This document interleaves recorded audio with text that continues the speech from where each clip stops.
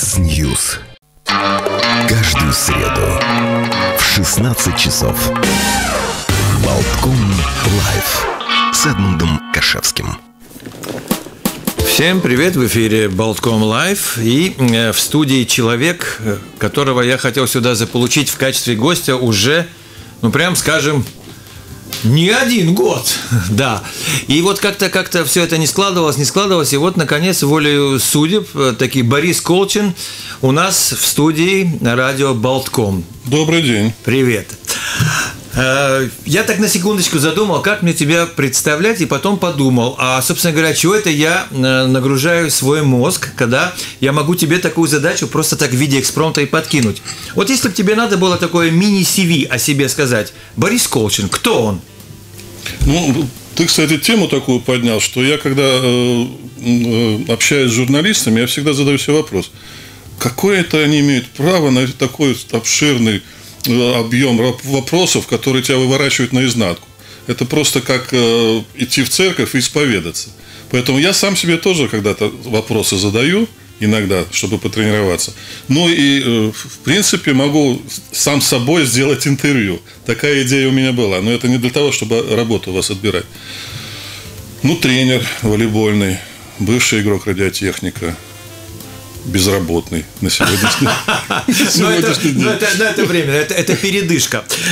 Э, Мы с Борисом знакомы уже не один десяток лет, и, честно говоря, я наблюдаю за э, спортивной, скажем так, за спортивной биографией твоей и за тем, как, э, как и где ты работаешь, достаточно регулярно. Благо сейчас уже 21 век на дворе, есть различные технологии, которые позволяют смотреть и матчи различных клубов, которых ты, э, которые ты тренировал в различных странах, и, и все остальное.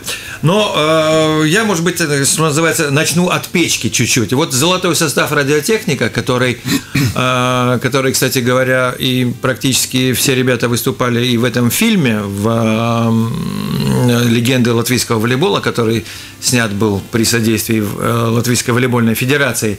И вот этот, вот этот весь э, состав золотой, я смотрю на вас, и я так думаю, а где, а где вот сейчас, вот где вот сейчас э, Колчины, где сейчас Селивановы, где сейчас Вилды, Михельсоны, где Эйды? Вот молодых-то таких фактически-то... Ну, да, вы правы. А мы уже на вы, да? Ну хорошо, А, давай. Подожди, ну если официально все-таки, давай Да, так, да, да, да, ну ладно. Все, я понял. Э, Ты знаешь, если э, браться за юниоров, то это надо быть э, действительно подстрахованным экономически. Я говорю про тренера. Ну я понимаю. Если ты хочешь увидеть результат через три года, то это не получится. Пять лет, а если ты берешь парня с 11 из 10 лет, э, мальчишку, то, конечно, это 9-10 лет, чтобы ты увидел результат своей работы. У кого столько терпения, у кого столько возможностей в наше, в наше время. Раньше, когда была система спортшкол, и люди, ну, я скажу так, по тем временам достойно получали, я про тренеров, достойно получали хоть какую-то зарплату, которая позволяла им жить. Они могли вкладывать всю душу и всю свой опыт и мастерство в этих молодых ребят. Вот, и, и, конечно, тренера э, различались. Некоторым э, необходим был сиюминутный результат, там какой-нибудь выигрыш, там какой-нибудь диплом, там еще что-то. А другие работали, как мой первый тренер. Он работал именно на команду мастеров. Ну, тренер Михаленко достаточно, во-первых, большой оригинал и по, по своим методикам работал, да, и продолжает, я так понимаю, тоже Да, так спасибо. потихонечку. Что, спасибо, что ты напомнил, да, всем, А- что есть такой тренер. Да, а, в а с другой стороны, он очень, э, очень достаточно жесткий такой. И, и я задавал этот вопрос э, многим функционерам Федерации волейбола в различных интервью, почему из э, Михаленковских никого практически вот на таком большом уровне, высоком по нашим меркам латвийским нету. И Ну, отвечали, здесь- отвечали все в один голос. «А, ну, типа с ним невозможно договориться. Нет, нет, то, что игроков высокого уровня у него достаточно, э, я могу сейчас их перечислить, да, например, э, Владимир Рубан, это первое, так сказать. Не, это, это история. А Да, вот- но он, он уже не, не работает. Вы знаете, человек сейчас на пенсии. Да. Кстати, недавно, вот 22 июня, мы вместе праздновали его день рождения. 78 лет, поэтому человек уже отдыхает, э, чувствует себя замечательно. Но черты характера э, моего первого тренера я хорошо знаю. Потому что я его приглашал в Италию, он у меня работал в секторе юниоров в моем клубе, где я работал главным тренером. Вот, и поэтому э, могу сказать, я ему это тоже открыто в глаза говорил. Виктор Александрович, откуда э, э у вас э, вот такая как бы характерная черта раздражать окружающих. окружающих да. Да. И потом я добавил, и почему вы эту черту передали мне? Ну, честное слово, ловлю вот себя на мысли, что общаюсь иногда с людьми, которые, ну, не знаю по каким причинам, да, вот последний мой отъезд, кстати, из России тоже был связан э, не очень так, как говорится, приятным так сказать, моментом был связан. Ну, могу рассказать. То есть, слова. да, то есть черты характера как-то передались, да? Ну, я не знаю, откуда это, да, но то, что Виктор Александрович это ну, просто идеальный, талантливейший детский тренер, это не отнимешь. И, и признают все его и конкуренты, и злопыхатели, и соратники, и друзья, и товарищи. Но вот именно такая как бы самоуверенность и э, прямота да, характера, она иногда э, людей не то что отталкивает, а она раздражает. И поэтому они говорят, да, он не покладистый, он жесткий, он колючий. Такой. Но он ребят не, да, не дает играть. Не дает им играть и не пускал их никуда. Ну, я клубы. сейчас буду как не то, что оппозиционер, а как буду противник э, того, что ты говоришь. Давайте сказать, э, перечислим сначала, начиная с Рубана, да? Да, ну, Потом Аликвер, Рубан, Колчин, Аликвер, ты. Да, Киселев. Вы знаете, кто чемпион сейчас России последнего года? Кузбасс. Кузбасс, да. да. А такого Пашицкого э, Дима вы знаете? А Пашицкий же из Риги был. Ну, а чем он воспитанник? Михаленко. Ну, вот и все. Понимаете, и вот на в таком э, длинном промежутке э, времени давайте посчитаем, сколько Мурьяны дали, да, команде мастеров. Ну, ну это... может быть, на одного, двух, троих больше, чем один тренер Михаленко.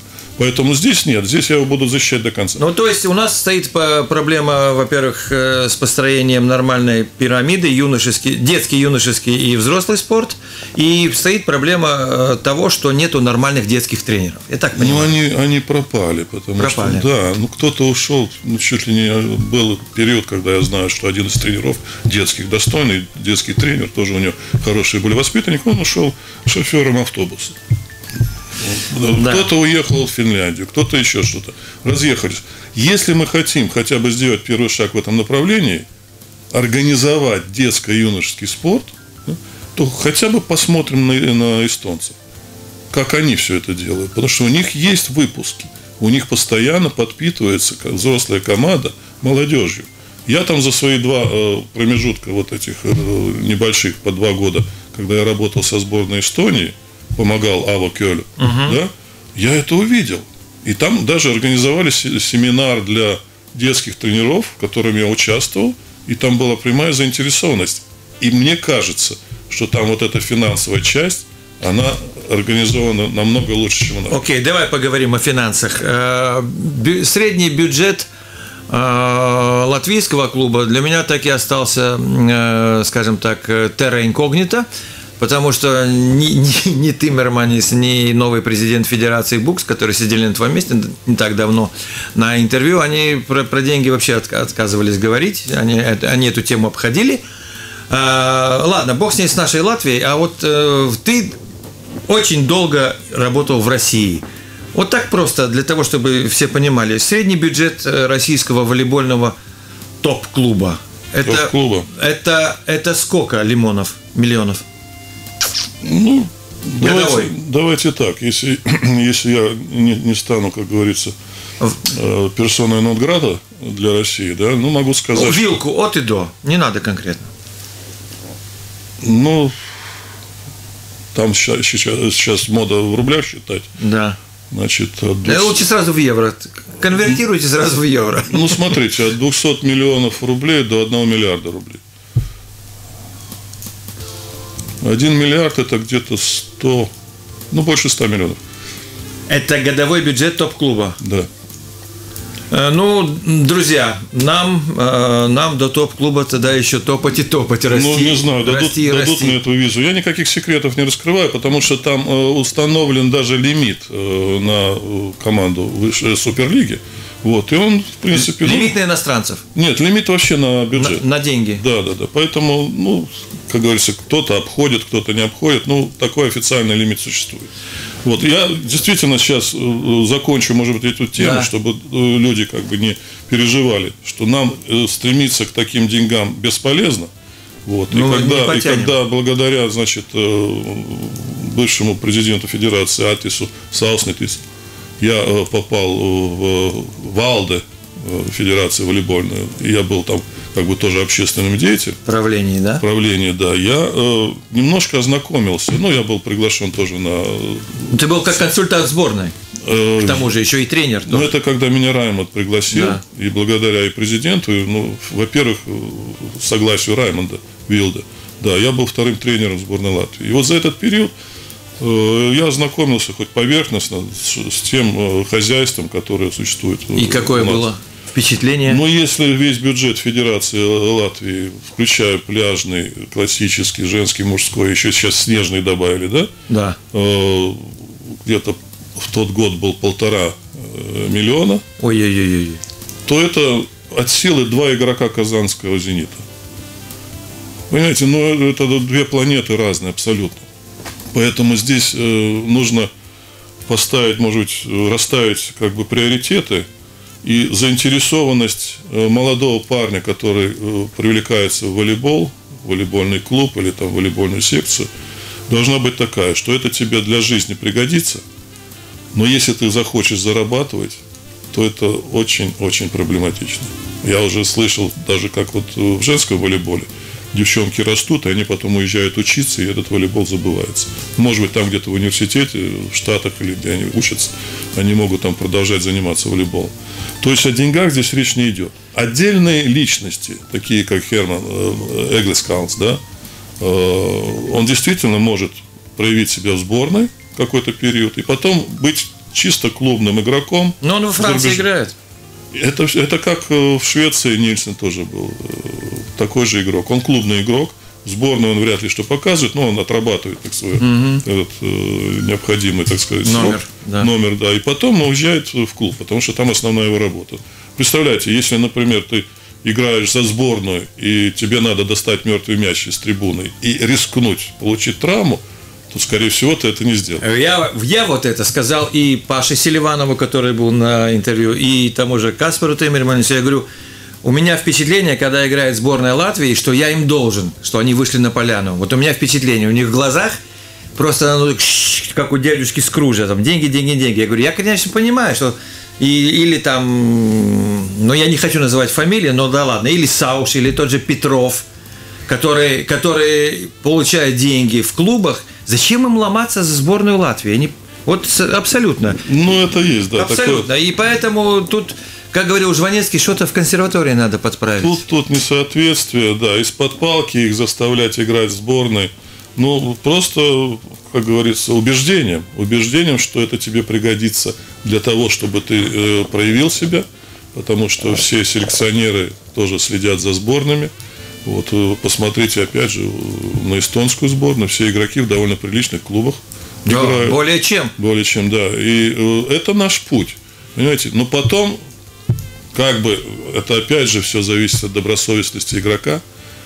Если ты э, патриот, вот здесь ты и проявляешься как патриот. То есть ты играешь за свою сборную, да? Извините, это говорит тот, который всю жизнь тренировал, значит, зарубежной команды. Ну, Вот здесь патриотизм? Да. Поэтому, ну, я честно скажу, я пытался, я пытался в любой промежуток Ну-ну. я пытался в любой э, момент, когда возвращаюсь домой, да, э, каким-то образом все-таки участвовать. Не надо стучать рукой по столу, потому что А, это отдается в микрофон. я понял. Да. Э, э, И когда мне предлагали, например, помощь э, Раймонду, я с удовольствием соглашался. Потом проявил даже инициативу, это честно говоря, я сейчас этим горжусь, потому что не хотели участвовать в юниорской сборной в отборочном турнире к чемпионату мира. небольшое как бы убеждение и то, что я взялся за это дело, потому что там было всего 5-6 парней того возраста, и пришлось добирать более молодых ребят. И мы поехали на отборочный турнир, понимаете? И я, я не хотел просто, чтобы эти ребята теряли возможность сравнить себя. Я не, не, не думал, что мы можем пройти дальше. Вот, но терять возможность посмотреть на своих ровесников. Какой уровень, чтобы дальше стремиться к большему. У нас получилось из этой подгруппы выйти дальше. И только потом, с течением обстоятельств, основной, как говорится, диагональный у нас, да, э, получил травму на тренировке, и мы не поехали на следующий тур с ним. Да, ослабленный состав. Ну, там уже были Польша, Германия, Бельгия, и там проиграли. Вот э, если вот такими урывками работать, то, конечно, ничего не достигнешь. Но я все равно пытаюсь этим образом как-то помочь. Если нужна, как говорится, моя, так сказать, мой опыт и моя квалификация. То ты готов? Я готов, даже сейчас, потому что ну, к Есть сожалению. свободное время, понятно. Да, да. А, Борис, ты, э, что называется, в первом эшелоне уехал э, за границу из Советского Союза как профессиональный игрок, и ты уехал не куда-нибудь там Кишинев, скажем, да, как опять-таки по анекдоту, а ты уезжаешь в Италию. Ты уезжаешь в Италию, причем попадаешь э, в достаточно такой, ну, серьезный клуб. Э, это под Ференцией клуб назывался Прато. Да, да из города Прато. Ну, это было как бы второй дивизион А2. Там есть один, как Суперлига. Вы знаете, я, ты знаешь, я э, как бы в прошлое это уже заглядывать настолько утомился. Нет, я, я к чему?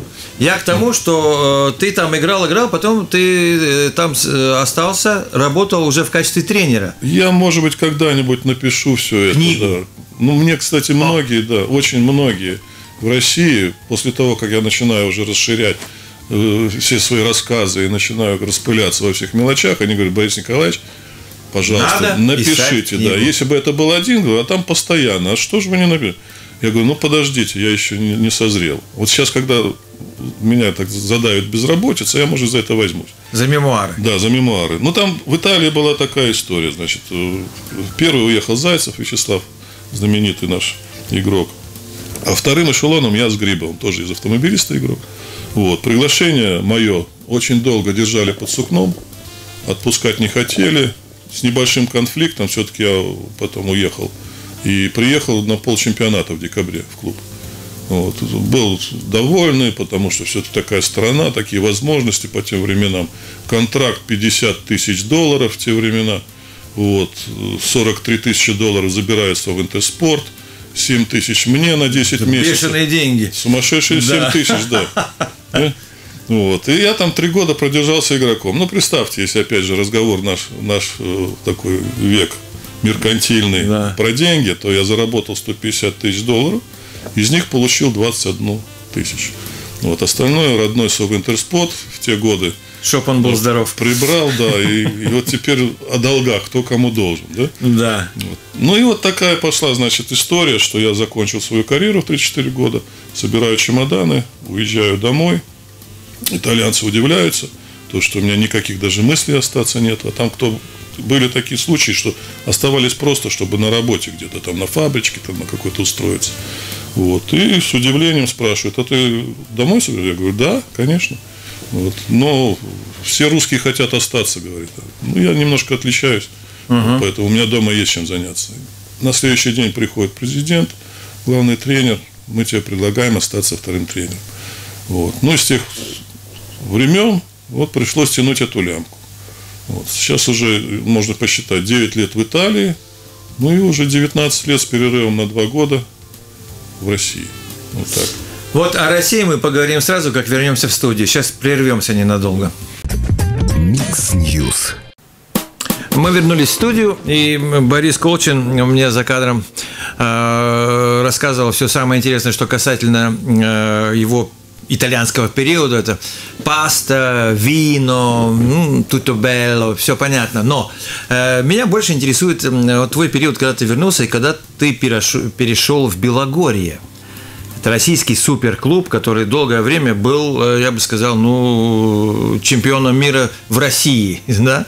И с этим клубом, я так понимаю, э, вы завоевали и трофей мировой клубный тоже – и, и там титулов просто не счесть. И если посмотреть твою биографию и перечислять твои все титулы, то нам и полчаса не хватит.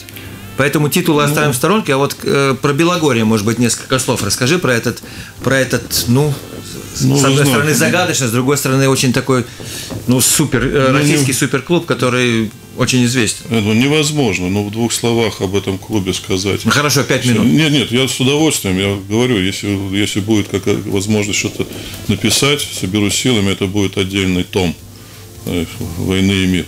Вот, э, дело в том, что я попал... Сколько лет? Я попал в Белый в 2000 году попал. Вот, и вместе так посчитать с возвращением, ну, где-то 7 лет. То есть почти что половину срока в России я отдал Белгороду. Или он мне дал возможность работать там, потому что это особый клуб, особая атмосфера. Э, мне повезло, что благодаря, к сожалению, сейчас покойному Юрию Сапеге, э, он меня уговорил, и потом мне позвонил Шипулин, и меня пригласили в Белгород. И я попал в тот период, когда там были люди, ну, на взлете. То есть те люди, которые вот могли дать результат. Я поинтересовался, конечно, составом. Но в тот год, к сожалению, вернулся после травмы э, Тетюхин Сергей. Вот. И было тяжело спрогнозировать, будет он играть или нет. И благодаря своему характеру этот парень... Это вы... железный парень. Этот вырвал. Я, кстати, когда говорят про него легенда, звезда, да, это действительно надо говорить э, для того, чтобы э, ребята стремились в волейбол. Но если ты с ним общаешься, ну это что, это ну, просто золотой человек. Это, как говорится, э, достояние нации. О, это достояние нации. Я сейчас подумал, если, например, у меня кто-то спрашивает – Э, куррикулум о, о твоих достижениях, там, о какие-то у тебя там, значит, опыт какой, сколько ты работал там, я могу только одной строкой написать, что я работал с Сергеем Тетюхиным. Это уже много значит. Поэтому Сергей, действительно, это одно из условий э, тех успехов, которые, ну, я могу тоже приписать себе, потому что фактически все, что, ну, кроме Кубка Европейской, э, Кубка Конфедерации – и Кубка вызова, то, что они сейчас вот последние годы тоже выиграли без меня. Вот. Но Кубок Конфедерации мне удалось с факелом выиграть. А так все, что существует в клубном волейболе, благодаря Белгороду, мне, У тебя все есть. Да, мне удалось прочувствовать, потому что в этой mm-hmm. жизни я сейчас понял самое главное эмоции. Вот. Если я пережил эти эмоции, этот азарт, благодаря такому клубу, как Белгород, то надо, конечно, его благодарить. Вот. Взаимности тоже можно где-то попросить, потому что э, были трудные времена, и когда я уходил э, и обратно возвращался, и они оказывались на девятом месте, надо было снова подниматься. Это тоже было интересно.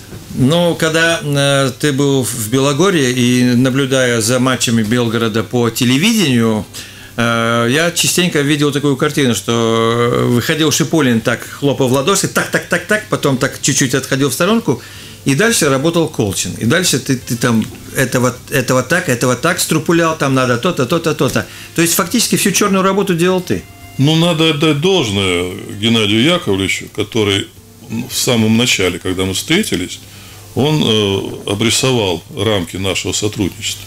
Если бы он э, как бы подготовил меня и, и говорил бы, ты будешь тренером, ты будешь готовить, ты будешь вести игру, а потом бы э, как бы обманул меня, он бы вел игры, там выступал, как сказать, перед э, телевизором, как он сказал. Потом мне, мне главное, чтобы машина была готова, мотор чтобы работал, ехала, чтобы да. она была заправлена. Понятно. Я, я поведу, а ты будешь рядом как штурман.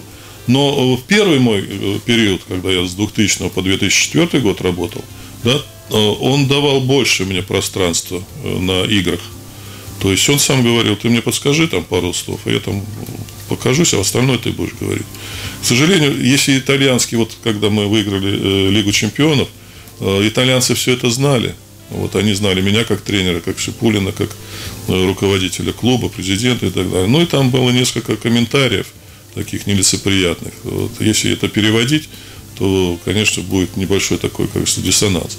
Вот. Но это была договоренность. И в свое время, когда мы э, заняли второе место на чемпионате мира, Проскочили, кстати, через игольное ушко, из-под группы вылезли с третьего места еле-еле. Там такая история, что, опять же, хватит, хватит на 20 страниц.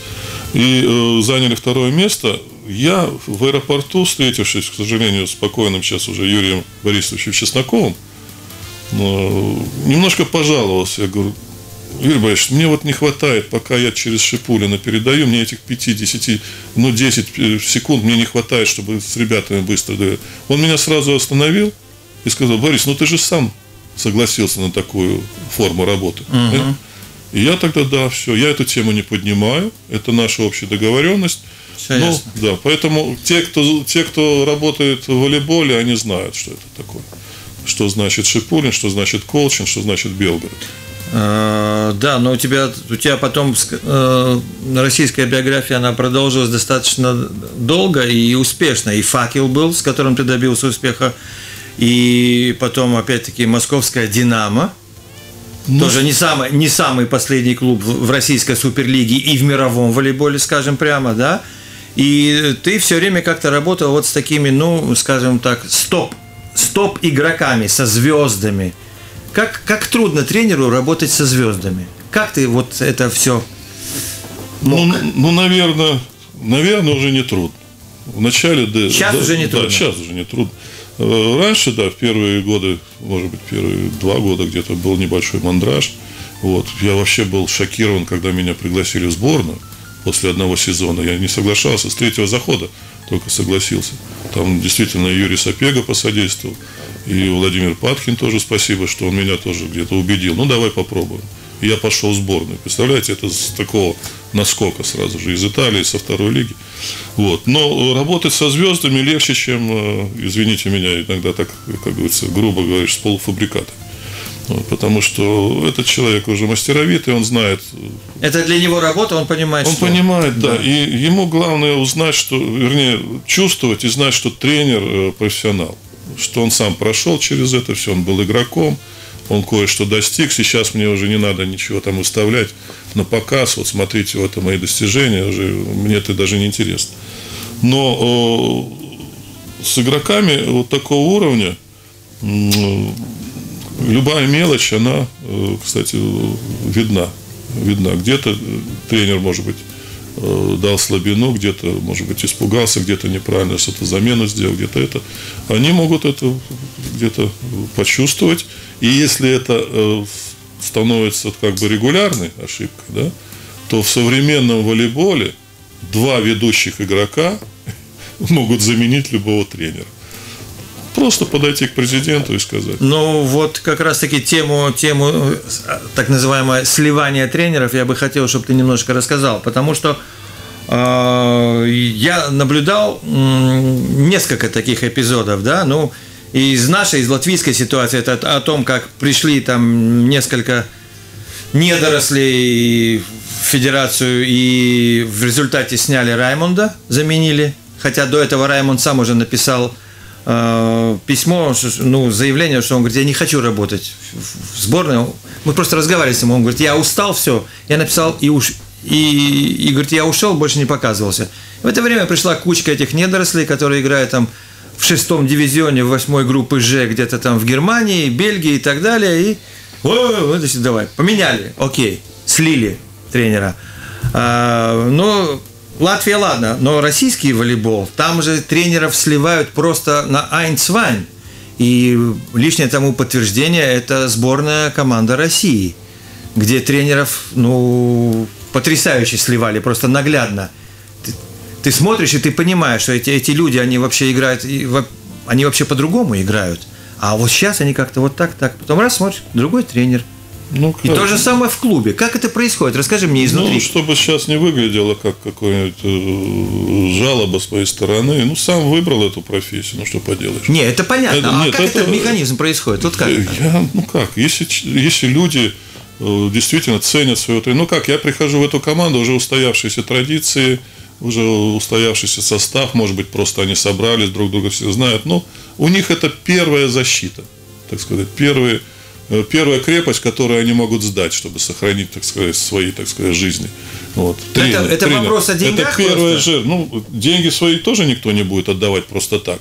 Вот. Но тренер – это первая жертва, это должен быть супер авторитетный тренер и просто, э, ну, максимальная, э, э, так сказать, максимальная доверенность со стороны руководства, президента клуба, спонсора клуба, вот как сейчас происходит в Новосибирске, ну, как в Кузбассе происходит, как в Казани. Да?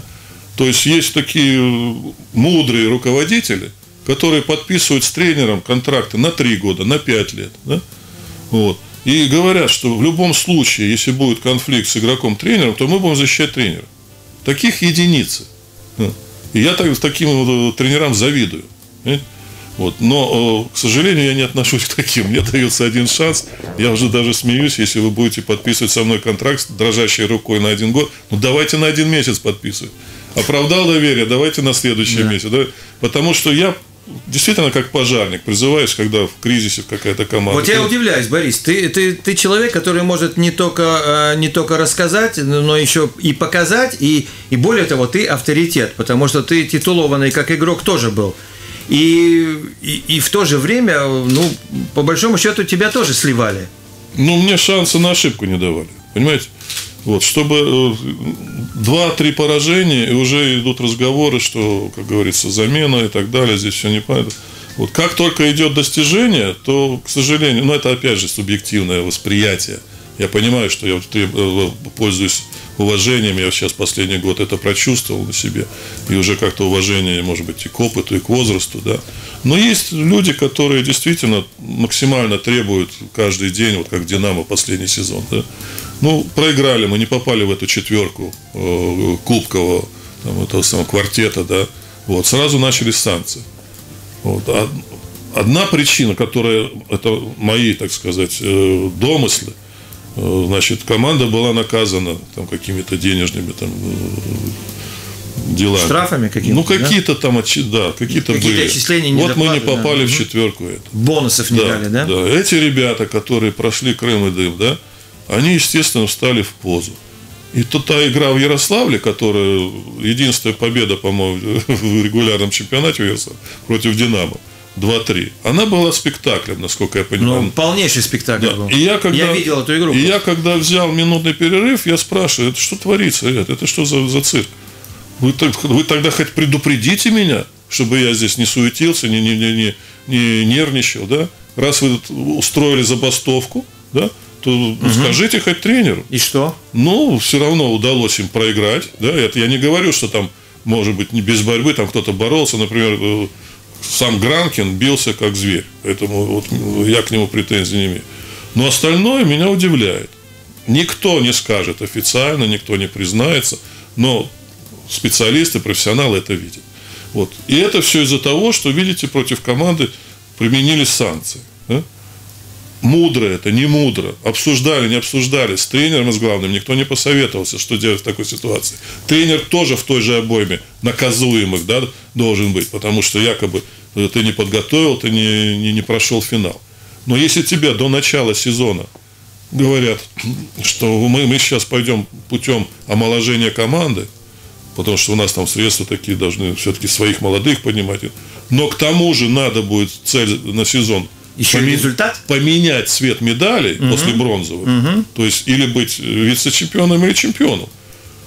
Омоложение и серебро и золото, ну, как-то Вместе не, не соответствуют. Да. И здесь, и здесь как-то уже сленгом можно сказать, ну, подстава, да? Да. Вот. Но это, опять же, субъективное ощущение, переживание, понимаете? А вот скажи мне по поводу субъективных ощущений и переживаний. А в московском «Динамо» не прижился ни Зайцев, ни Курек. Почему? А не только он, и, и Чернич такой был тоже игрок Ну, это пониже уровень. А за эти, эти два супер, супергероя вообще, суперзвезды, две. Э, ну, получалось так, что э, тот коллектив, который сложился годами, он их отторг? Э, скорее всего, да, не прижились. Не прижились. Ну, такие случаи бывают. Ведь Грозер тоже великий игрок. Э, да. В Новосибирске не прижился. Поэтому такие вещи случаются. Зато он сейчас в Питере как? Да, в Динамо, может быть, чуть чаще. Э, я скажу так, что вся история с Динамо, у меня тоже с ними свадьба не особо хорошо получалась. Что, кстати, что с мужским, то и с женским. Э, Женским «Динамо» вообще был нонсенс, когда мы э, начали раскручиваться, и я бы с удовольствием бы еще доработал до конца сезона и поборолся бы за чемпионское звание. На полпути вдруг э, решение, мы с вами расстаемся. Хотя задача на сезон была выиграть один из трех турниров. Мы выиграли Кубок России – но опять же, это политика клуба. Я должен с ней согласиться, потому что э, тренер сборной в то время Ты был... наемный человек, понятно. Да, тренер да. сборной тогда был без клуба. Ему нужен был клуб для подготовки к Олимпиаде. Вот эти Да. все вещи я должен понимать. И со всех сторон. Со стороны игроков я должен все понять. И со стороны руководства. И вот если руководство тебя защищает как специалиста, как тренер, то ты везучий тренер. Я сейчас завидую и Самуэлу, и Константинову, и э, Олегу. Потому что они именно в той когорте тренеров, которые защищены сверху. А у меня прощание с Уфой произошло просто безобразно. Я прихожу, все хотят со мной работать, мы создали уже коллектив, Э, президент клуба тоже, и вдруг какой-то звонок или какая-то встреча, и все перевернул наоборот. И он говорит, Борис, ты знаешь, я бы хотел поработать, но я не могу, потому что сверху э, пришло указание, что если вы оставите Колчина, то у вас будут неприятности. То есть ты попал в опалу. Я не могу понять, я вообще причину, истоки не могу понять. Да? Но такая фраза, если, э, если я за 19 лет, ну, 17 лет заслужил ее, то я не знаю, как дальше работать. Потому что если вы оставите этого тренера, а я уже тогда вторым консультантом был, я помогал молодому перспективному тренеру. Слушай, какая-то, какая-то, я тебе скажу, подковерная такая серьезная игра в российском спорте. Это все Михайленко виноват. Это он тебе такой характер воспитал, да? Как я, игрока я- как- я кого-то раздражаю. да. Да. Скажи мне, а Самуэль Во сейчас актуальный новый тренер сборной России, он авторитет для игроков? Да, да, да. Он вообще э, э, авторитет.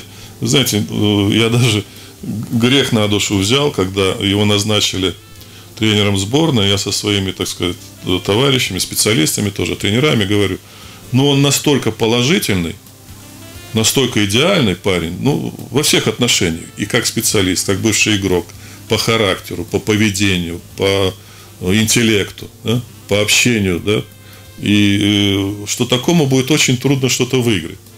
И тут вдруг сразу же вот это преобразование, у них очень был тяжелый четвертьфинал с «Динамо», да? а это всегда, в любом турнире четвертьфинал это как рубеж. Но потом в финале они просто летали. Вот, это его заслуга. И у него сумасшедшая поддержка, как я слышал, с ним вообще на 5 лет был подписан контракт. Представляете, как можно спокойно работать на перспективу. Его никто не казнил, когда он в прошлом году проиграл «Динамо» бронзу. да. Считалось, что ну, Кузбасс поднялся на четвертое место. Знаете, и вот эта поступательность, да, она ему тоже дает право. То, что он в сборной сейчас, э, кстати, сегодня ночью вот будет игра, надо будет посмотреть. Подгруппа у них сложная. Вот. Но я желаю... Мировая лига сейчас уже идет, да? Э, Лига наций, да. Да. Ну, Я желаю ему от чистого сердца успеха, удачи, и чтобы он поднялся как можно выше, потому что он сейчас в самом расцвете. Вот, когда у него энергии достаточно, и уже опыта, и желания, и он пускай набирает этих регалий, всех побед и так далее. Парень очень достойный. Ну что ж, э, время нашей передачи приближается к концу потихонечку. И я хотел бы тогда, может быть, я такой еще провокационный один вопрос задать. А Долго собираешься отдыхать? Я готов хоть завтра работать, честно говоря, потому что я уже месяц отдыхаю. Э, Было так, что даже по 2-3 дня из дома не выходил. Поэтому в любую, в любую авантюру я могу ввязаться. Вот, любая команда, которая играет на результат, не является кормушкой, я на любую такую команду подпишусь. Ну и главное, чтобы были правильные эмоции. И, И правильные люди вокруг, Да, я добавлю. люди. Э, Друзья, в гостях сегодня в Болтком Лайв был Борис Колчин, э, легенда латвийского волейбола, заслуженный тренер, не побоимся этого слова. И чтобы не перечислять все-все-все-все регалии, я скажу, что ну просто чемпион мира среди тренеров. И так бы я вот тебе дал такую регалию. А мне что сейчас делать? А тебе что сейчас делать? Тебе в положительных эмоциях... Спасибо сказать, да? Нет, тебе надо попрощаться с нашими радиослушателями и э, пожелать им удачи. А, Хорошо, спасибо большое. До свидания. Uz redzēšanos, cienījamie klausītāji. Спасибо. В студии был Эдмунд Кашевский, за пультом Родион Золотарев. До следующих встреч.